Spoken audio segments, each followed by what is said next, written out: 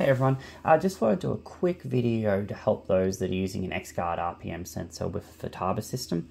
Um, in this model here, this is a Spectre Nitro with a CGY760R and a 16IZ um, transmitter, um, but this will be very similar for multiple other radios and um, flybarless systems with governors in them. Um, the main thing here is making sure that people realize that the Futaba sensors and this sensor, the XGuard one, are very similar. They send the same signals, and therefore the CGY actually doesn't know that it's different to the Futaba one. There is a step at the end that is different um, with a Futaba sensor versus this one, but that's actually in the radio, um, and we'll go through what that actually is.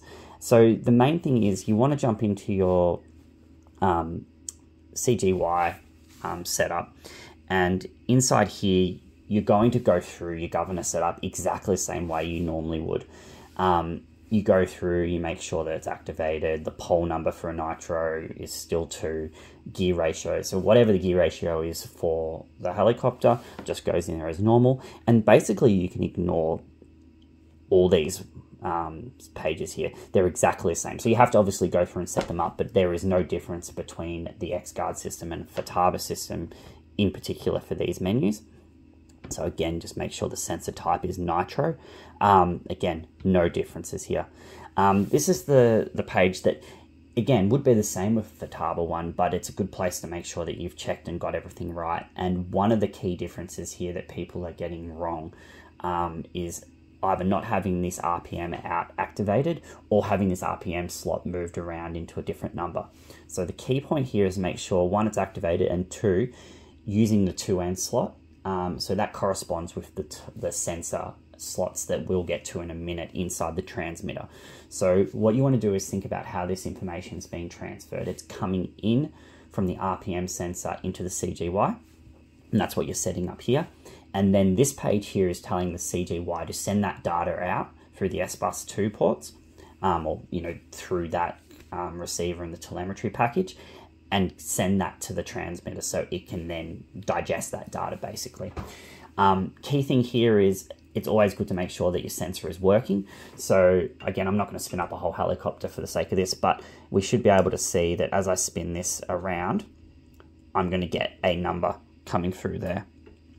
So as long as you're getting something coming through there, I've seen these kind of range a little bit, but they gen uh, they tend to be around the 87 or in the high 80s um, make sure that you're getting that. So as the crank comes around, of course, you should see it come through. So once you've done all that and you've got these two set up here, the governor is just as you would with any other um, sensor that you would use to, to govern um, using a Futaba system. So you can jump back out of all that and out of the CGY. So now the CGY has everything set up that I would say is different to that. You've got your gear ratio done, everything else is right. The governor itself right now would be working perfectly fine. You can go out to the field, you could use that. The next step that we see a lot of hiccups from is making sure that the telemetry, that data now for RPM is now being shown on the radio correctly. So if you wanted to jump in here and um, you know have a look at your telemetry here, making sure that that data is coming through correctly, or if you've got it setting in your normal telemetry screen like this. So what you want to make sure you do here is you jump into your sensor, and I've already got this one put in, but with a Futaba system, you'd normally plug the sensor directly back into the back of the transmitter. You'd go over press register, and that would be it. Um, if you try to do that with the XGuard system, what will actually happen is you'll get an error. Um, it'll just say you can't find it. Um, different radios kind of say different things, but the, the, the gist of it is that it can't find that. And that's because the XGuard doesn't have an ID. So if you'd registered a normal um, genuine Futaba sensor, you'd get some ID number here that would be the same as what's written on the, the actual thing.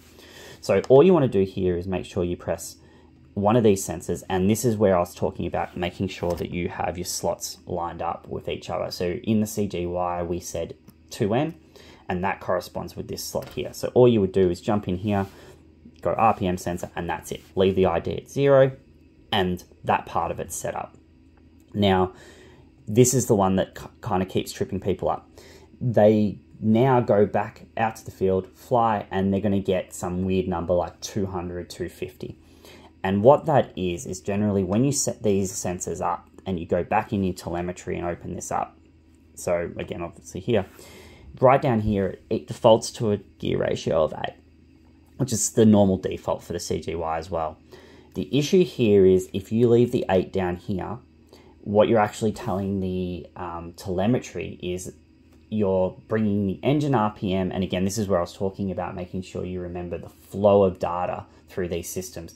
The RPM sensor is going to give the CGY the engine RPM, so let's say something like 16,000 RPM, then it does the gear ratio conversion to get you to 2,000 RPM on the head, given that we're using an 8, um, an 8 gear ratio here. If you leave this one down here, what it actually ends up doing is multiplying that gear ratio because now you've got 2000 RPM as your data coming out into the transmitter. It will then multiply it again by 8. And then that's where you're going to get something like 250 RPM rather than your 2000. So what you want to make sure you do here is drop that all the way down, drop it back down is to 1. So what that's going to do is it's just basically not going to adjust the data. Now, the information that you'll get coming out of your CGY will say 2000, uh, again, just using examples that I used before. And now, when you go back to your telemetry page here, this will be just a perfect replication of what the CGY is feeling. Um, and that's it. That that's that's the thing that seems to be getting a few people. It's those couple of screens, making sure you're getting the data coming through the system correctly. Um, the main thing there is that it's actually a little bit easier than having a Futaba system. You don't have to register the, the sensor or anything like that. Um, again, if you have any issues, please reach out to XGuard or myself, um, and we will be happy to help you through it. But this should apply to a few different radios, a few different sensors, and everything like that. But um, again, it should all work. If it doesn't, reach out. Thanks.